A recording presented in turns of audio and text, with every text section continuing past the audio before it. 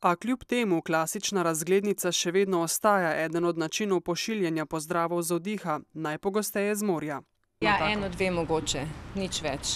Bolj eh, telefonsko, kakšen kratek klic, to je to. Ja, razglednice pošiljam, ja. Za, mislim, za eh, Češku, pa za Norveško.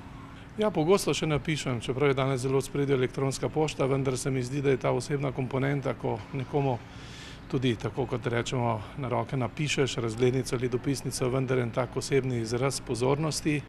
Julija in avgusta tako na območju novomeške poslovne enote pošte zaznavajo bistveno povečanje števila razglednic.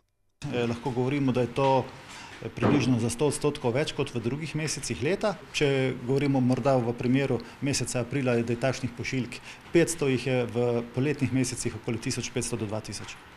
Največ razglednic, ki so najrazličnejših oblik in na katerih najdemo tudi risane junake, po pričakovanjih prispe z Hrvaške, sledijo pa Italija, Španija, eh, tudi Avstrija in pa Grčija, eh, vse ostalo pa tudi iz morda še kakšne iz eksotičnih držav Daljnega vzhoda eh, ali pa morda celo iz Japonske. Na pošti se je bistveno zmanjšal promet po 15. juliju, ko so se začele sodne počitnice. Iz tega naslova seveda imamo tudi mi na pošti možnost, da našim zaposlenim omogočimo nekoliko več letnih dopustov, nadomeščajo jih študentje. Povečan obseg dela pričakujejo spet po 20. avgustu, ko bodo sodni mlini spet začeli mleti.